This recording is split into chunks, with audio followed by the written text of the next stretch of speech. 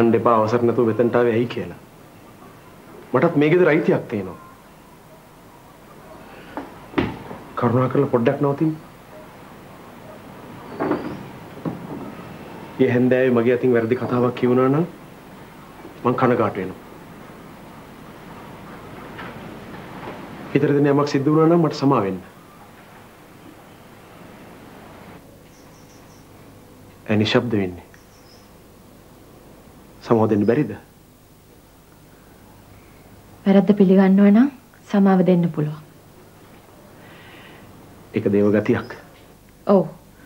මට වැඩක් තියෙනවා මං යනවා. පොඩකින්. පහුගිය දවස්වල මම මේ ගෙදර හැසිරුණු විදියට ඔයා හිතාගෙන ඇති මම යකෙක්. එහෙමත් නැත්තම් තිරිසන් සතෙක් කියලා. ඒත් එහෙම හැසිරුනේ ඇත්ත නිශාන්ත නෙමෙයි. මාව ඒ තත්ත්වයට පත් කරන්න මම්ම පප්පා වගේම ඔයත් යම් විදියකට හවුල් වුණා. මම මම මොනවද කළේ? ඔයා මට පෙන්වුවේ ආඩම්බර මුහුණක්. කතා කළේ නපුරු වචන. ඒ හිතපු හැටි වෙන්නේ නැති. කොහේදෝ ඉඳලා ආපු මම කොහොමද මේ ගෙදර මිනිස්සුන්ට රවන්නේ ගොරවන්නේ?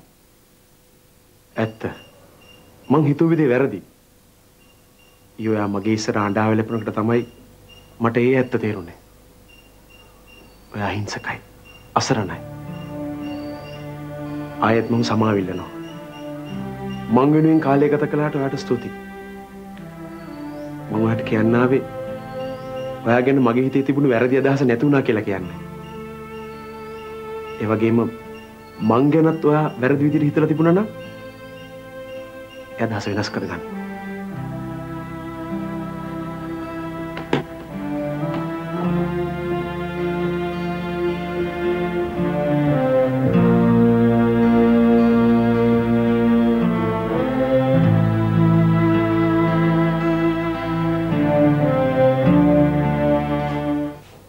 පුංචි කාලේ ඉඳලම අයියට කී කරු. ගරු කරනවා. ගෞරවයක්වත් එක්ක මොන රණ්ඩු සරුවල් ඇති කරගත්තත් මං ඔයා ඉන්න වෙලාවට නිශ්ශබ්දයි. පූසා වගේ. මං හිතන්නේ මං එහෙම වෙනස් වුණේ වාගේ ගති පැවතුම් නිසා වෙන්නේ නැති. ඒ වගේම දැනුත් මං ඔයාට ගෞරව කරනවා. හරි හරි මොනවද කියන්න තියනවා කිව්වේ?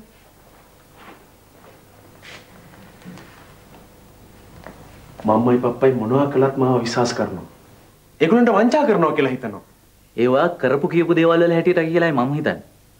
මම මොනවා කළත් මම්මටයි පප්පට ඉවසන්න වටිනවා.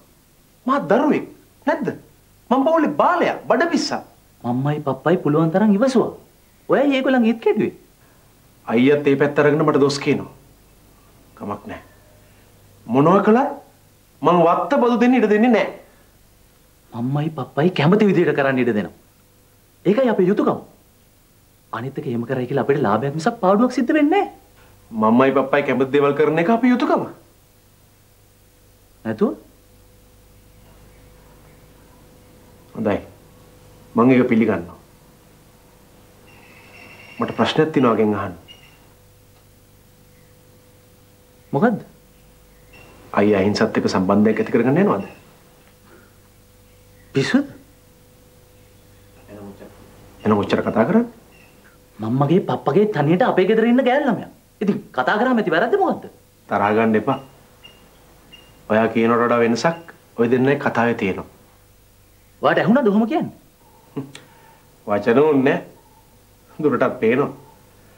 මම්මගේ පප්පගේ ඔයාගෙන තියෙන බලාපොරොත්තු හුඟක් වැඩි. පරම්පරාවේ නම්බුව රැකගෙන ධනසංක නම ගෙනියන් ඉන්නේ එකම හොඳම පුතා ඔයා කියලා ඒගොල්ලන් හිතන්නේ. මට අවවාද කරන්න ඕනේ නැහැ ශාන්ත. මන් දන්නා මං කරන්නේ මොනවද කියලා. මම්මගේ පප්පගේ බලාපොරොත්තු කැඩෙන කිසි දෙයක් මගෙන් වෙලා නැහැ. අන්න ඒක මතක තියාගන්න. ඒක ඇත්ත නම් මට ලොකු සහනයක්. ඔව්. ඇත්තම තමයි.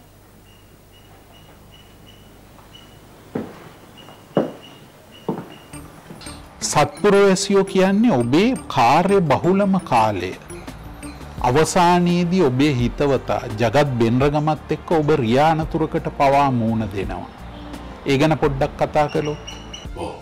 ඇත්තටම මේ සත්පුරැසය කාලේ මංහිතන්නේ අර මට තිබුණු කාර්ය බහුලම කාලේ.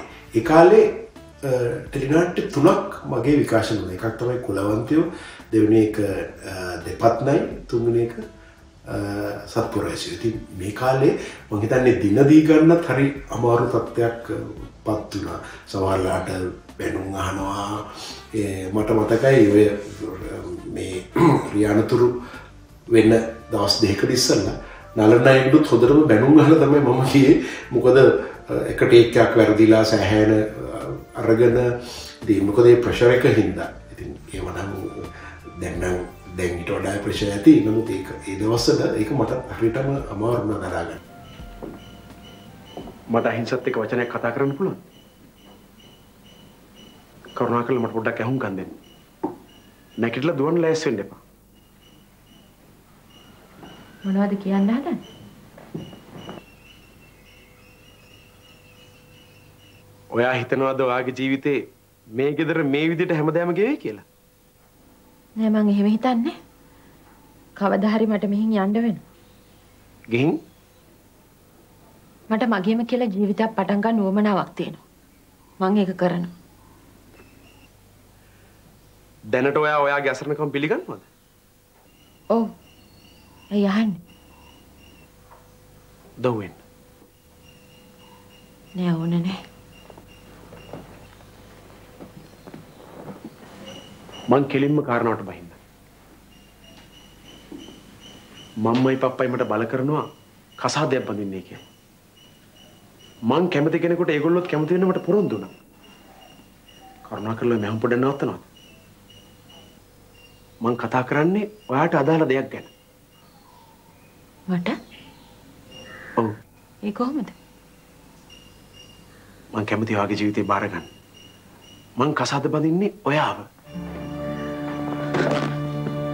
පිස්සුද? කරුණාකරලා පොඩ්ඩක් නවතින්න.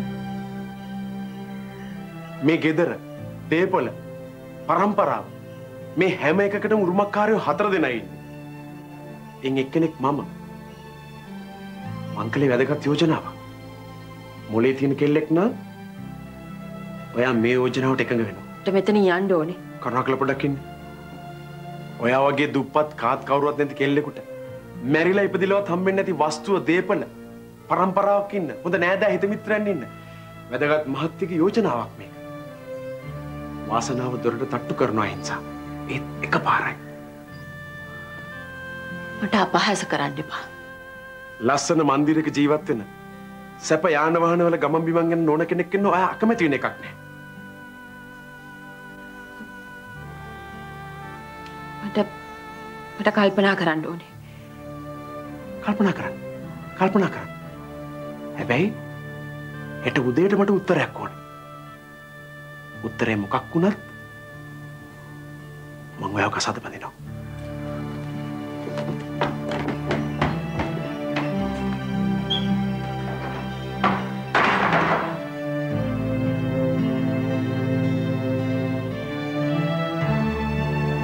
මං ඒකාලේ වැඩ කරේ මේ මත්තන් මන්ත්‍රය තුරතුරු මධ්‍යස්ථානයේ වීඩියෝ වැඩසටහන් නිෂ්පාදක හැටියට. ඉතින් අලුත් අවුරුද්ධට එකතු වෙලා ලං වෙලා අලුත් අවුරුද්ධ වෙනුවෙන් මත්තන් මද්‍ර තුරතුරු මධ්‍යස්ථානයට ඒකාංකික ටෙලිනාටයක් නිර්මාණය කරන්න සිද්ධ වුණ. ඉතින් මම ඒ ටෙලිනාට අධ්‍යක්ෂණය කරේ එක රුගත කරේ මී ගවේ ඉතිං මීගොමේ එක ජගත් බෙන්ඩ ගමතැත් කරා. ති මිගමේ රූපගත කිරීම් සිද්ධ වෙලා ඔක්කොම වැඩි ඉවර කරලා එදාම තිබුණා පාදරස්පුව නාට්ටේ මේකම පුරහලි. ඉතින් එදා ෂටිං වරලා මම නාට්ටට ගිල්ල නාට්ටිවරලා මගේ මටතු කාරගත් තිබුණ ලාන්ස බක්ස් කාරක. ඒ කාරකේ මම ගිය. ගිහිල්ලා ජගතුයි මම කාරගී ගිය. ඉල නාට්ටිවරලා මොරටඩයන් හිද ප්‍රියන්තසනවිරත්නත් ඒ කාරකට ගොඩ වන ඇති අපි තුන් දෙෙන දීගමීන්ද කොල්ලමොට ඇවිල්ල පොඩි වැස්සක් තිබුණ. කොළම්බදී හරිටම රොයල් එක පිටි පස්සේ කුරුදත් පොලිසිය ළඟදී ඉස්රයින් අපපු වැන්න එක මූට මුණ හැප ට අදටත් කාරණයක් තින ජගත් බෙනට ගමගේ මූුණේ මෙම කැරල්ලක් තියෙනවා. ඒ කැරල්ල සිද්ධ වනේ මං නිසා ඒ රියානතුර නිසා. වගේ ප්‍රියන්ත සිරත්ගෙන හය කැඩුන එක මට මිල නොකර හැකි ඩැමේජ් දෙකක් වුණ එකක් මෙතන. ඉන්දියාවට ගිහිල බ්ලාක්ෂ සජරයක් කළ කරගත්තා. එකම මගේ හැට තද්ද බල ලෙස හානි සිද්ධවුණ ඉතිං ඒකදී කාර්යක කුඩේ කුඩුුණ කාර්ක දැක්වු හැමෝම හිතුව අපි ජීවිතුන් අතර නැහැයි කියලා. මට මතකයි පලවෙනියටම බාබ පරිඩේ ඇරයේ ස්ට්‍රියන්තයියටයි කුසුමරයටයි ඒලා මතක් කරන්න ඕනේ. මට මම ස්ටචරක ඉන්නකටම දැක්ක කුසුමරෙන් වගේ මුණ දැකලා එක පාටම කලත දාලා වැටෙනවා. සීනැත් වෙලා වැටුණා. ඒ තරමට. ඉතින් මොකද අපි එකට නාට්‍ය පාදරසපු රඟපාල ආපු වෙලාවේ මේකට හිටපු මනුස්සයටම මොකද වෙලා තියෙන්නේ කියලා. එදා ප්‍රියන්සනවටත්නත් පාදරස්පය රඟපෑව රොඩ්නි වර්ණකුලගේ චරිදය එකනම් ජීවිතයේ අමතකුණනි මරණයෙන් බේරුණු අවස්ථාවක් තමයි රියනතුර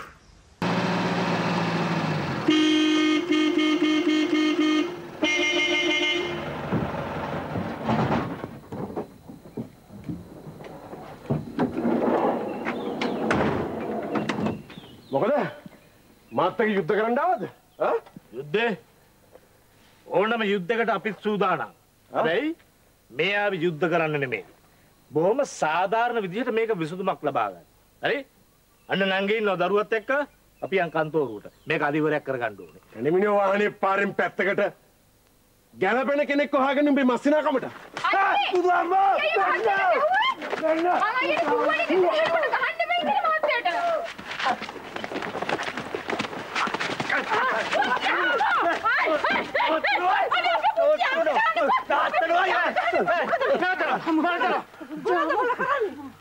ඊර්ෂ්‍යාකාරයෝ මේ අපේ පුතා ඡන්ද ඉල්ලන්නේ නැහැ ඒක දැනගන්නවා නංගි වල බෑපා. බෑපා. බ ගෙට රිංගනකොට මං කරබාගෙන හිටිය තමයි. දිවුරුවා පොරොන්දු වුණා කිව්ව නිසායි මං එහෙම හිටියේ. මෙන්න ඉන්න ඔබගේ දරුවත් එක්කම. මහත්තයෝ හොඳ හිතින් එනවා යන්න රේස්ටාර් ගාවට. හොඳ හිතින් එනවා යන්න. අත ගන්න චල්ල. මම මේක අඩුව ගන්නකෝ අත ගන්න. රද්ද කළ තව කියවන්නත් වෙනවද? මිනිස්සු නිකම් බොරුවට කෑ ගහන්න බෑ මගේ බංගලාව ඉස්සරහා. කියන මොකද මේකේ තේරුම? තේරුම තේරුම අහගන්නව තමසගේ පුතාගෙන් මුළු හත්මුදු පරම්පරාවම මකෝනවා මං අන්නේ જાතියේ මිනිහෙක් උන් උඩිය හොයාගෙන ගිහින් හරි දෙනව සබ්බු අයිත් බත් නොකණ්ඩ නම් මිනිහ බලගින්නේ නැගහම් මගේ වාහනේට යමන් රෙජිස්ටර් ගාවට බ බා අද නංගිව කසාද බඳින්න ඕනේ අද නිශාන්ත මේ මිනිහා බොරුවක් නම් කියන්නේ එක කියපන් මේ මිනිහගේ ඉස්සරහම දැන් කියපන් ඒක කියන්න මහත්තයෝ කියන්න. මහත්තයාගේ අම්මයි තාත්තයි ඉස්සරහදි කියන්න මේ දරුවා මහත්තයාගේ නේද කියලා. කට ඇරලා කියන්න මාව බඳින්න පොරොන්දු වුණා නේද කියලා. කතාද බඳින්න පොරොන්දුනේ නැහැ පොරොන්දුනේ නෑ. සහගහන අපරාධයක් නෙමේ මේක. දසාතේ දියුල්ල මාව රවට්ට ගත්තේ. බ හිතුවද මිනිහෝ මේ කෙල්ල සෙල්ලම් බඩුවක් කියලා මට කියනවා නිශාන්ත උඹ මේ වැරද්ද කරලා තියෙනවා උඹ මේ පාර වැඩේ කරලා තියෙනවා අපිට කරන්න දෙයක් නෑ උඹ වග කියන්න ඕනේ මේකට උඹ වග කියන්න ඕනේ නිශාන්ත හොඳයි මම්බට සුමානයක් කල් දෙන්නම් නංගිව බාරගන්න. බැයි සුමානේ පවුනාද එන්නේ මෙහෙම නෙමෙයි. ආත්‍යෝ නම්බු පිටින් කියනවා තම්සගේ පුතාට මගේ නංගිව කසාද බඳින්න කියලා. එහෙම නැතුව මට කොකා පෙන්වන්න ලෑස්ති වුණොත් මම මූවත් මරලා අනිකවත් බාවලා මුළු ඔක්කොම කම්මුතු කළා මරාගෙන මැරනවා මමත්. තා මොකද්ද ඔබ මේ කරගත්තේ එහෙමනම් අපි යනවා. අයිත් ගෙන්නන්න එපා මාර්යාව. නංගි නැගපන්.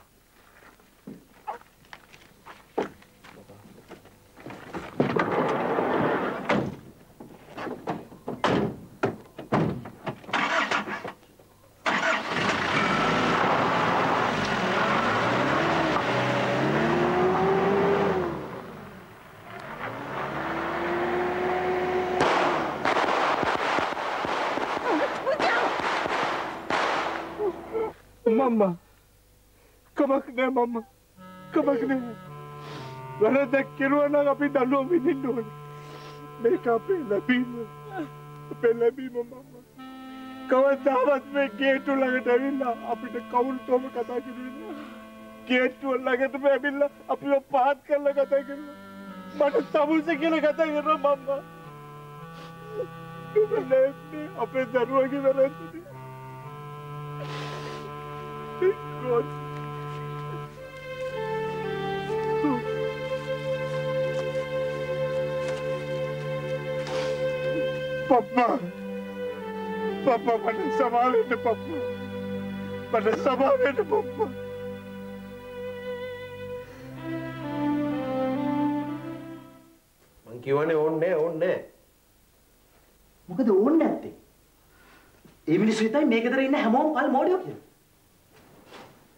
ජාන, ඔව් නවතිනෝ. තමුසෙට ලැජ්ජාවක් නැතුණාට මම්මටයි පප්පටයි තියෙන ලැජ්ජාව. මට තියෙන ලැජ්ජාව. ගමේ මිනිස්සු බලන් ඉන්නේ නැද්දි උන් ඇවිල්ලා තමුසෙට ගහලා ගියා. හෙට උන් ඇවිල්ලා ආපහු අපි ඔක්කොම ගහලා මරලා. මං ඒකට උන්ගේ වාඩුව ගන්නකො වාඩුව ගන්න? කොහොමද? කඩු කිරිච්ච අරන් ගිහලා රිටර්න් එක දීලා තමුසේ වාඩුව ගන්නද? නිශාන්ත අපිට අපේ පාඩුවේ ඉන්න ඉඩ දෙනවා. අපි පාදඩියෝ නෙමෙයි. මටයි දැන් මගේ පාඩුවේ ඉන්න ඉඩ නැත්තේ කරුණාකරලා මේක නවත්තනවද නැද්ද තමුසේ නීතිය ඉස්සරහට යන්න බයයි. මොකද තමුසේ ලොකුම වැරද්ද කරලා තියෙන්නේ. ශ්‍රියානි ඉස්සරහම තමුසේට ඒක පිළිගන්න උනාලු. නිකරම වැරද්ද මගේ පිට දාන්න ලෑස්ති වෙන්න එපා මං දැනගෙන හිටියා කවදා හරි දවසක තමුසේ අමාරු වැටේ කියලා. දැන් ඉතින් ඒකෙල්ලව කසාදුන බැඳ තමුසේට මේකෙන් ගොඩ එන්න විදිහක් නැහැ. මොකද? ආයෙත් කට්ටි පණ්ඩයද කල්පනා? මේ නිශාන්ත වැරද්ද කරා හරි. දැන්වත් ඒ තමුසේ කරපු වැරද්ද පිළි අරගෙන ඒකෙල්ලව කසාද බැඳගන්න. කසාද බඳින්න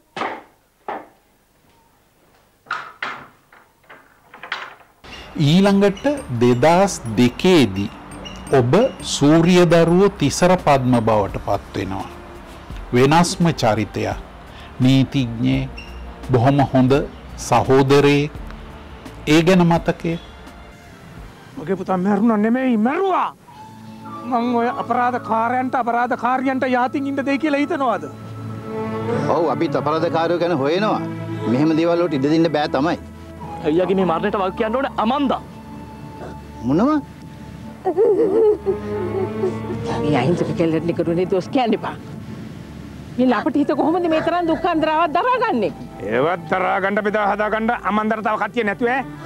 ඔයලා අපි දන්නේ නැතුණාට රට්ටු දන්නවා මේ හැම දෙයක්ම යසාගේට මොනවද මේ කියන බහුභූත කතා ඈ? ඈ? ඔහෙලා අපි සමාජයේ වැදගත් මිනිස්සු වගකීමක් තියෙන මිනිස්සු තේරුණාද වැදගත්කම අපි ඒක දන්නවා. අර ටෙනිස් ක්ලබ් එකේ මෙයත් එක්ක නටන මනුස්සයා කවුද? අපි දන්නවා. සංගීතකාරය හෙටුම්කාරය මගේ අලු ඉන්න එහෙන් දෙකපු. කැත හිත තිබුණට එක මිතර පෙන්වන්න හදන්න එපා. අමන්ද හැම දෙයක්ම කෙරුවේ සුමේද දැනුවත්ව. සුමේද කැමැත්තෙන්. මේ එහෙම කතා කරන්න එපා අපි නංගි හොඳ පවුල් ජීවිතයක් ගත කරා ඒක අපි දන්නවා අලුත් මෝස්තරයට ඇන්දට පැළැන්දට හිතන්න එපා මගේ දුව නරක් වුණයි කියලා තේරුණාද එයා තමුන්ගේ ස්වාමියාට ගරු කළා හොඳට සැලකුවා දැන් හිතාගෙන ඇති දේපලවලට තට්ටු කරලා වෙන මිනිහෙක් එක්ක යන්න නේද? ඈ?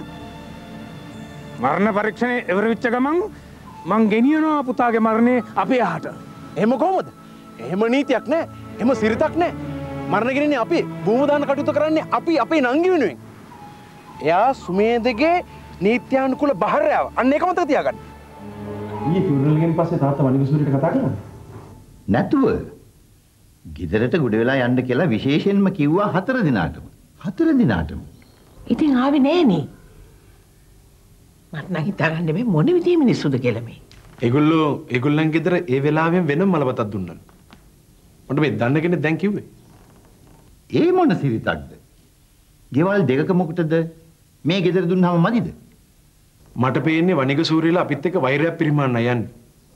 පුතාට තියෙන ආදරයට වඩා මෙතන තියෙන වෙන දෙයක් වෙන මොකද්ද? ඇයි? පුතාගේ දේපල ව්‍යාපාර වලට තියෙන ආදරේ මට නම් ඔය මහමනුස්සය ගැන සැකයි. සැක? එහෙමත් කරයිද තාත්තා කෙනෙක් පුතාට? එහෙම නොකර ඉඳී කියලා හිතන්නේ මට පොඩි ආරංචියක් ආවා.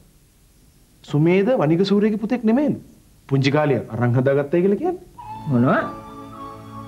මොන බොරු කතාවක්ද? පවුලේ ගෑවිච්ච ගතියක්වත් සුමේදට නැහැ තමයි. කවුද රිසියාවට ගොතක් බොරුවක්? මේ කාලේ හරිම නපුරුයි. කවුරු විශ්වාස කරන්නද? ඒක ඇත්තටම හරිම අමාරුණා ඒ චරිතය ගොටගා ගන්න එක ඇන්නේ මම මෙතෙක් කාලයක් කරලා තිබුණේ හැම ටෙලිනාට්ටියකම හරි දඩබ්බර චරිත. ඉතින් මට පුංචි අභියෝගයක් තමයි නාලන් මාත ඇදුනි මහි තන්නේ සංයමයකින් රඟපාන්න. කොහොමද නීතිජ්‍යමරයගේ චරිතය හරි සාධාරණය කරණය කරන්නේ. එවගේම පවුලට ලැදි හිතවත්. පවුලෙ ප්‍රශ්න බෙදාගන්න සොහිරෙක් ති මේ දෙක සුදු චරිතයක් මට හම්බෙච්ච දෙකක් හොඳ. නැත්තන් හැමදෑම කළු චරිත හම්බුණේ සුදු චරිතයක්. ඉතින් මංහිතන්නේ මට ඒකටත් සාධාරණය ෂ්ට කරන්න පුළන් වුණා කියලා. බෑ එකෙදී මතක් කරන්න ඕනේ මේ වරක් සහිය වරකාගට මහත්තය මාන්‍ය ජයසන මහත්වය යශෝදා. එතකොට චතුරකාගේ පලවෙනි ටෙලිනාට්ටය එක රොෂාන් එතකොට චන්න මේ හැමෝම මේ චරිතය නිරූපණය කරගන්න උග සහයක් වන ඒ වගේම ආනන්ද වික්‍රමීම එතකොට මගේ බිරින්ද හැටිට රඟපෑවේ Chamila Chamila Peiris Excuse me. Doctor to calling. Ah.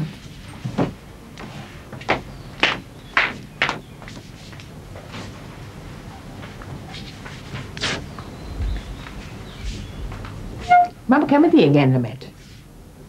තාත්තත් හරි ආදරේ. එයාගේ යාළුවගේ දුවනේ. මිඩුන්ට හරි කරුණාවෙන් සලකනවා කියලා හොස්පිටල් එකේ කීප දෙනෙක් මට කිව්වා. ගෙදර ඉන්නවද නැද්ද කියලා හොයන්න බෑ. ඒ තරම් නිශ්ශබ්දයි. අම්මයට උග කැමති වගේ. මම නෙමෙයි කැමති වෙන්න ඕනේ.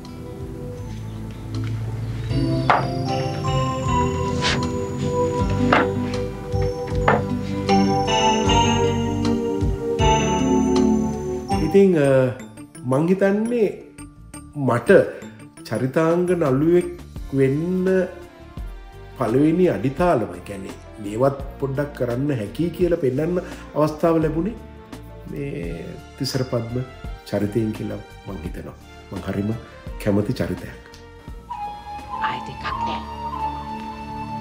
එමන්සේ යන්න ඇත්ති අත්ත කරන්නු කරගන. එම නේද? ඇත්ත ගැන්න ළමයෝ රණ්ඩු කරගතේදකි ඇත්ත කියන්න අම්මා කැතරින් කැතරින් දුවට කරදර කරන්න දෙපා. අද උසායේ වැඩ ගොඩ ගැහිලා. මං උසාවියට යන්න මොනේ තාත්තේ. පුතා යන්න පුතා රාජකාරී ගැන බලන්නත් ඕනනේ යන්න. පොඩි නංගි බය යන්න එපා. අපි මේකට මොන හරි කරමුකෝ. මං යන්න. මොනවටද ඔයගොල්ලෝ රණ්ඩු කෙරුවේ? නෑ අම්මා නෑ.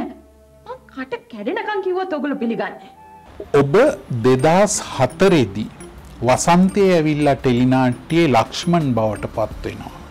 ව්‍යාපාරිකයෙක් ටිකක් වැඩිමහල් චරිතයක් ඔබේ සමවයසි වගේ හිටිය රොෂාන්ලගේ අශෝදගේ.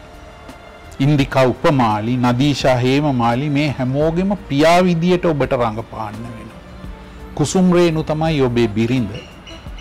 ඒ ගැන අපි ටිකක් කතා කරමු. හෝ මංගිතන්නේ අර මුලින්කිව අර තිසර පද්මගේ පොඩි ප්‍රමෝෂන් එකක් තමයි මට ලක්ෂ්මන් හම්බුණ එකත් පොඩි අභියෝගයක් මඟ දන්න නාලන්න අය මාව එක තෝරගත්ත මොකද කියලා මොකද හේතුව අර මගේ සමවයසේ හිටපු සමහරත් ඇත් එක්ක මම ඉගුල්ලන්ගේ තාත්තා වෙනවා ඉතින් ඇත්තටම හරිම අමාරුණයි චරිත නිරූපණය කරගන්න. ඉතින් හිතන්ඩ වුණා ගොඩක් වෙලා හැබැ කුසුම්ගේ ගැන්නේ ලැබුණු සහයෝගය හරිම වැදගත්. ඒක පොඩි දුක කාරණාවක් තියෙන තමයි මම නාලන් මහත්මඇත් එක්ක රඟපාප අවසාන ටෙලිනාට්ටේ කොද එදා සතරේ මම ඒකේ රඟපාලා ඒ රඟපා ඉන්නකොට තමයි අපිට ඇමරිකා යන්නත් හම්බුණේ ඉතින් එතකොට මහිතන්නේ නානන් මහත්මයටත් ප්‍රශ්නයකට මුණ දෙන්න වුණා ටෙල්නාට ඉවර කරගන්නතු අපි නැතු අපිට අපේ පාදරස්පෝ නාට්‍යය එතකොට මාස දෙකක් තුනකට කාලෙකට අපිට ඇමරිකා සංචාරකට යන්න වුණ ඉතිං කෝමාරය අවසානයේ මම අම්මයි තාත්තයි පිටට ගිල්ල මැරිලා වගේ මහිතන මට මතක හැටිටක අවසන්න නමුත් ඒක හරිම අමාරුවෙන් රඟපාපු එකන්නේ හරිම සංයමයකින් රඟපාපු චරිතයක්. ඉතිං මම අදටත් ඒ චරිතයට ආදරය වගේම පුංචි දුකක් තියෙනවා. එතමයි අපි හමුවෙච්ච අවසානය. තිරින් පස්සෙ තමයි මම ලංකාව හැර ස්ට්‍රේලියාවටන්න මේ සියල්ල අතරේ ඔබේ හොඳම කාලයේදී ඔබ ජනප්‍රියත්වයේ ඉහළම තලයේ ඉන්න අවස්ථාවෙන් ඔබ අපේ රට අතහැරලා යනවා. ඇයි ඒ ගැන පොඩ්ඩක් අපි කතා කරමු. ඇතටම මම ඔස්ට්‍රේලියාවට එන්නේ මගේ රංගන දිවියේ හොඳම කාලෙදි. එකැනි මම දෙදස් පහේ හොඳම සහය නරුව හැටියට සුමති ටෙලි සම්මාන වනේ සම්මානයක් ලබාගන්න ඇති මම ඇත්තටම මම ආවේ පීක් එක කිව්වොත් නිවැරදි මට උන තරම් වැඩ තිබුණු කාලෙක. හැබැයි සතුටින් නෙමේ යාවේ මම හැමත සිම කියලා තියෙනවා. ඔස්ට්‍රේලියාවේ ඇත්තටම මේ සුකවීරණය හොයාගෙන නෙමේ. එවෙනකොට මගේ නොන පරිපාලන ශේෂ්ඨය උසස් නිලයක් දැරුවා. ඒ වගේම මටත් රැකියාවසා හොඳට වැඩතිබෙන අපි ආවේ එක අරමුණක් උදෙසා. ඒ අරමුණ තමයි ඉතින් අපි ම පැවතිස්සමි කියල තියෙනවා. දරුවෙක් බලාපොරොත්තුයෙන් තමයි මෙහාාවේ ඉතින් දෙදස් පහේදන් මහිතන්නේ අවුරුදු හයක් උත්සාහ කරලා දෙදස් කොළ හැදි ඌල් එක ඉතින් ඇචිව් කරගන්න පුළුවන් වුණා ඉතින් ඒ ගැන සන්තෝස වෙලා අර දුක පොඩ්ඩක් නැති කර ගන්නවා. දැන් ඒ සැක්‍රිෆයිස්ගේම නැත්තගේ පරිත්‍යාගේ කර නැත්තන් අද මට සුන්දර දියනියකගේ මූුණ බලන්න හම්බුවෙන්නේ නැතිවෙන්නට තිබුණා. ඒ ගැන හිතලා දුක නැති කරගන්න. සතුරුදායක දීවිකට වඩා මම ඇත්තටම ආදරය කළේ සුපිරි වානිජ සාර්ථකත්වයක් නැති වුණත් මහා ආත්මතුප්තියක් තියෙන නලුකමට. මේ ඔස්ට්‍රේලියාවේ පදිංචිටාවත් මං මගේ නල්ලුකමේ තියෙන ගරුත්වය ස නරුකමේ තියෙන ආදරය ආසාාව නලුකමත් එක්ක බැදිච්ච පෙකනි වැල මම කඩාගත්තේ නෑ ති මම හැකි හැකි විදිහට ලංකාවට ගේල නිර්මාණවලට සහභාගි වුණා ඒ වගේම මෙහෙ රටෙත් මට පුළුවන් විදියට මම නිර්මාණ කීපයක් කලා ඔස්ක සංවිධානය කළ මේ සංවිධානයක් තියෙනවා. එකත් එක්ක මම නාට්‍ය සන්දර්ශන තුනක් කරලා තියෙන රශ්මිරාත්‍රී කියලා එක දෙක තුන. ඒවගේම දෝන සිබිලා කියලා නාට්ට නාට්‍යයක්. ඒවගේම මේ මොකක්ද මේ කියලා නාට්‍යකුත් මම නාට්‍ය දෙකක් කරලා තියෙනවා මෙහෙ. ඒකම දැනට මම ස්වර්ණවාහිනී නලිකාවේ පුදුම ස්කෝලි කියන වැඩසරහනට ඔස්ට්‍රලියාව ගැන පුංචි වැඩසරටක් කරනවා ළමයින් වෙනුවෙන්. ඉතින් එකටත් මම මේ වෙලාවේ මතක් කරන්න සහන් රංවල සොහිරතාවයි මට වැඩසටහන කරන්න කියලා ආරාධනා කරේ. ඉතින් ඒකත් ඉතාම ජනප්‍රිය ලෙස යනවා. ඉතින් ඒකින් තව වාසයක් වුණා. මම ඒ වැඩසටහන වෙනුවෙන් ඔස්ට්‍රේලයා පුරාවටම දැන් යනවා ගිහිල්ල තැන් බලනවා පටිගත කරනවා ති මාත් එක්ක ටීමයක් ඉන්න ඒවගේ මම බලාපොරොත්වයන ඉස්සරහට. මගේම YouTube නාලිකාවකුත් පටගන් ම මේලා කියන්නම්. ඒක ඒකට නමදාලා තින්න තැනින් තැන කියලා ඔස්ට්‍රේලයා විස්සට කතා කරන්න. ඇතරම දැන් තව කාරණක් කියන්නට ඕනේ. දැන් මම කලාවට කිසිම සම්බන්ධ නැති රැකියාවක් තමයි කරන්න. මම ඇත්තටම මෙහෙ පීටමැක් කියන පිළිකාරූහලේ ශල්්‍යගාර සහයකෙක් හැටියට ඉතින් වැඩ කරනවා. ඉතින් කලාවට වඩා වෙනස් පැත්තක්. ඉතිං ඇතනම මේ ස්පිරිතාලින්න උගක් දෙනෙක් මම නළුවෙක් කියල දන්නවා.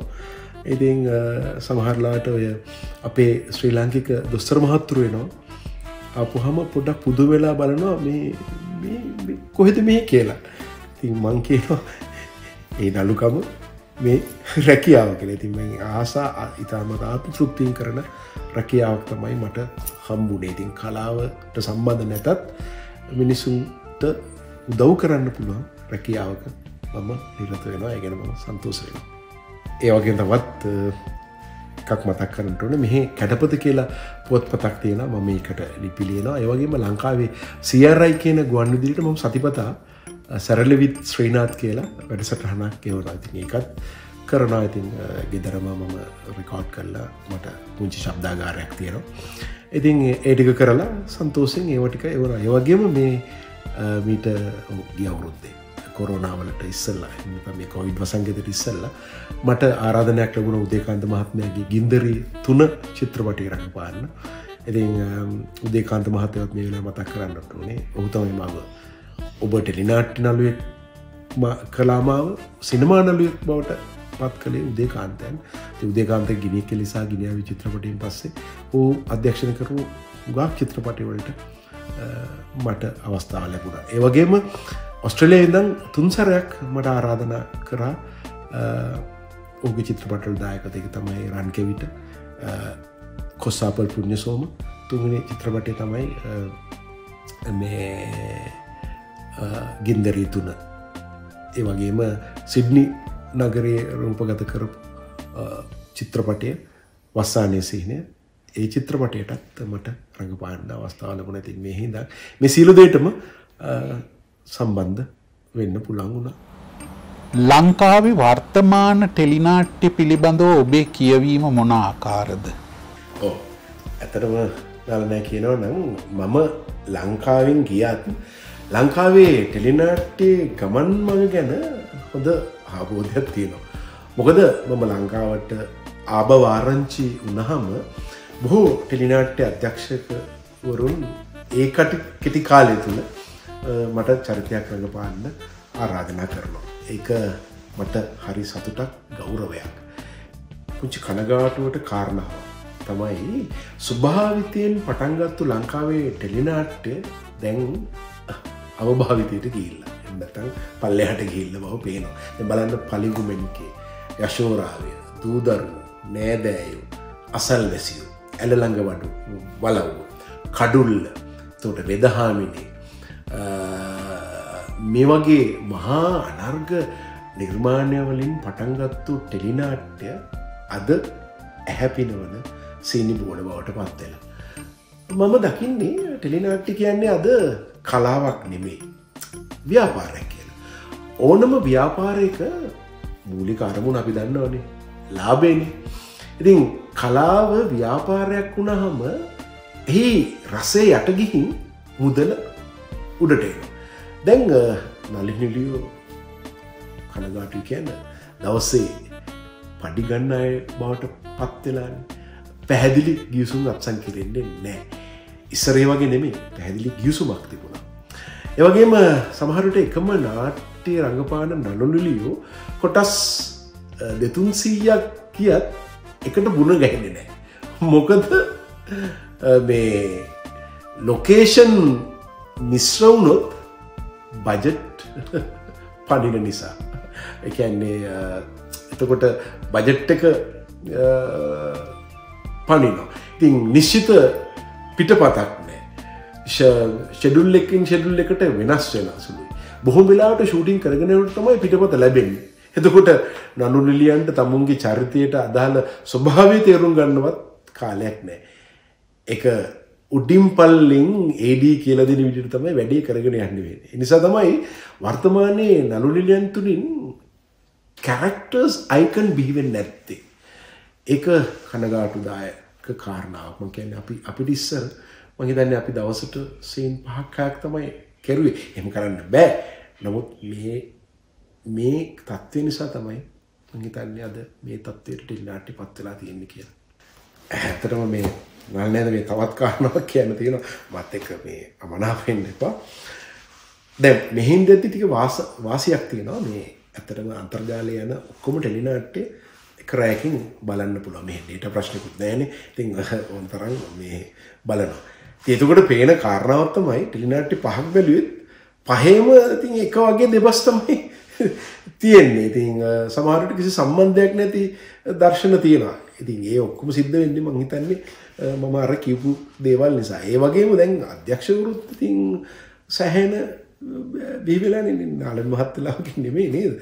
දැන් ඉතින් මම අහලා තියෙන විදිහට ටෙලිනාට්ටික එකක දෙක රඟපෑවට පස්සේ ඔහුත් අධ්‍යක්ෂවරයෙක් වෙනවා හොඳ කැමරා ශිල්පියෙක් ඉන්නවනම් ඉතින් ඔහු ලව්ව වැඩේ කරගෙන ඉතින් ලොකු දීර්ඝ ටෙලිනාට්‍ය කරනවා. ඉතින් ඒක තමයි මේ ටෙලිනාට්‍ය පරිහානියට යන්න හේතුව එකක් තමයි. ඉතින් නාලන් අයියලා වගේ අය මේ නිහඬව ඉන්න එකත් ප්‍රශ්නයක්. හැබැයි මම දැක්ක ටෙලිනාට්‍යයක් කරනවා. මම ඒකෙනුත් අයින් වුණානේ. හොඳයි ශ්‍රීනාත් බොහොම ස්තුතියි ඔබ අපේ චරිතමය වූ චරිත වැඩසටහනත් සමඟ එකතු වුණාට. ඔබ අලුතින් ආරම්භ කරපු ඔබේ YouTube චැනල් එකට මම සුබ පතනවා. එය සර්ව ප්‍රකාරයෙන්ම සාර්ථක වේවායි මම ප්‍රාර්ථනය කරනවා. ඔබට බොහොම ස්තුතියි. ඇතටම මම බෙහෙවින්ම සුතිවන්ත වෙනවා නරන් මහත්තයට මේ වැඩසටහනට මාව සම්බන්ධ කර ගැනීම වෙනුවෙන්.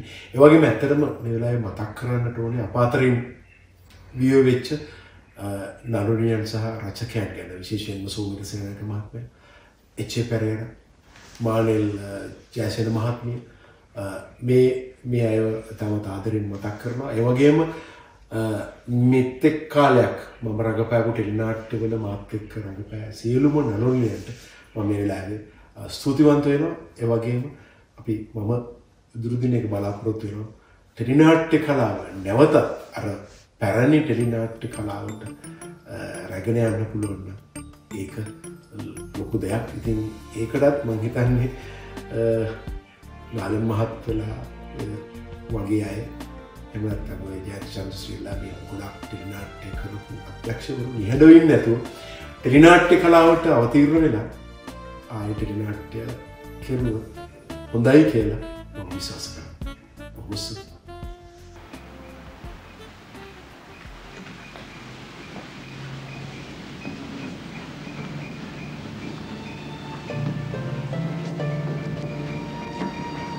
පප්පගේ මරණ සිද්ධ වෙලා තාමත් සති දෙකක් නෑ නිශාන්ත. අපි හැමෝම තාමත් ඉන්නේ පප්පා නැති වෙච්ච දුකෙන්. ඒ වගේ ආදරණීය පියෙක් මිනිස්සෙක් අපිට නැති වුණා. ඒඩු පිරිමහන්න බෑ. මට දරා ගන්න බැරි පසුතැවිල්ලක් තියෙනවා. පප්පගේ මරණය ඔය තරම් ඉක්මන් වුණේ මන් නිසාද? මගේ හිතුවක්කාරකමක් නිසාද? දෙමව්පියෝ ජීවත් වෙලා ඉන්න තාක් කල් නොහිතන දේවල් ඒගොල්ලෝ මැරුණට පස්සේ දරුවන්ට කල්පනා වෙන්න පටන් ගන්නවා. මටත් ඔය ගැන පස්තැවිල්ලක් තියෙනවා. අපිට පප්පට මීට වඩා හොඳට සලකන්න තිබුණ නේද අයියා? ඒක එහෙම තමයි. ඒ වුණාට අපිත් වැරදි කළා නෙමෙයි. අපිත් හරි. හරි. ඒත් මොනා කරන්නද? ගියදේ ගියාවේ. දැන් කරන්න තියෙන්නේ හිත සත්තු කරගෙන අනාගතය ගැන හිතන්න. මං හිතන්නේ ඉක්මනට ඔය දෙන්න එකතු වුණොත් හොඳයි කියලා. ඔව් නිශාන්ත. නේද අයිස?